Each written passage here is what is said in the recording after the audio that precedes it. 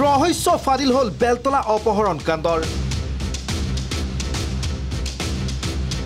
ডিমাপুৰত সন্ধান ওলাল বেলতলাৰ ছনী আৰু প্ৰিন্সৰ।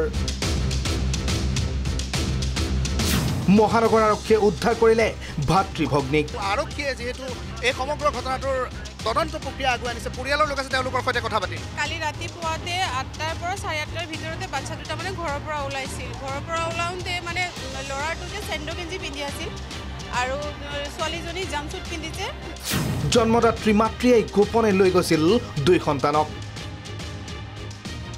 চৌব্বিছ ঘণ্টা ধৰি হাহাকাৰ পৰিস্থিতিৰ অন্তত সন্ধান ওলাল বেলতলাৰ পৰা নিখোজ হোৱা দুই ভাতৃ ভগ্নীৰ হেপী মন্তেশ্বৰী স্কুলৰ নৱম শ্ৰেণীৰ ছাত্ৰী ছনী সামন্ত আৰু চি কে একাডেমীৰ দ্বিতীয় শ্ৰেণীৰ ছাত্ৰ প্ৰিন্স সামন্ত।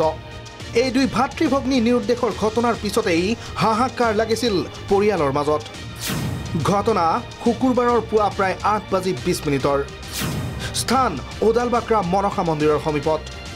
দুই ভাতৃ ভগ্নীয়ে শুকুৰবাৰে স্কুললৈ যোৱাৰ পূৰ্বেই ঘৰৰ পৰা ওলাই গৈছিল ৰাজপথলৈ। আৰু দিন দুপৰতেই ৰাজপথৰ পৰা নিখোজ হৈছিল দুয়োগৰাকী। লগে লগে ভুক্তভোগী পৰিয়ালটোৱে এজাহাৰ দাখিল কৰিছিল বশিষ্ঠ আৰক্ষী থানাত। এজাহাৰৰ ভিত্তিত আৰক্ষীয়েও আই পি চিৰ ধাৰা থ্ৰী ছিক্সটি থ্ৰীৰ অধীনত ৰুজু কৰিছিল ফ'ৰ ছিক্সটি ফাইভ নম্বৰৰ গোচৰ। প্ৰথম অৱস্থাত আৰক্ষীয়ে দুই কণমানিৰ কোনো সন্ধান পোৱা নাছিল যদিও শনিবাৰে সংবাদ মাধ্যমত নিৰন্তৰ বাতৰি সম্প্ৰচাৰ হোৱাৰ পিছতেই শীৰ্ষ আৰক্ষী নামি পৰে এই ঘটনাৰ তদন্তত। আৰক্ষীৰ তদন্তত পোহৰলৈ আহে দুই ভাতৃ ভগ্নীক মাহী মাকে অত্যাচাৰ কৰাৰ কথা।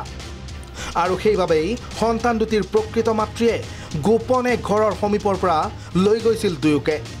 প্ৰায় সাত বছৰ পূৰ্বেই ছনী আৰু প্ৰিন্সৰ পিতৃৰ সৈতে বিবাহ বিচ্ছেদ হৈছিল।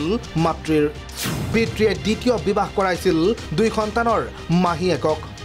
পিছে মাহীয়েকে মাতৃৰ দৰে ব্যৱহাৰ কৰা নাছিল দুই সন্তানক। সেই কথা অৱগত হৈছিল ছনী আৰু প্ৰিন্সৰ প্ৰকৃত মাতৃয়ে। মণিপুৰত বাস কৰা মাতৃয়ে কিছুদিন পূৰ্বে গুৱাহাটীলৈ আহি লগ কৰিছিল দুই সন্তানক। আৰু পৰিকল্পিতভাৱেই দুই সন্তানক শুকুৰবাৰে লৈ গৈছিল ডিমাপুৰলৈ।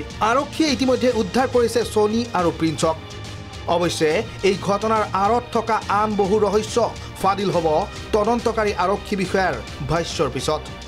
ভিডিঅ' জাৰ্নেলিষ্ট সৌৰভ দে আৰু বিকাশৰ সৈতে ইফতিকাৰ চৌধুৰী আৰু সমৰজ্যোতি শৰ্মাৰ ৰিপৰ্ট প্ৰাগ নিউজ।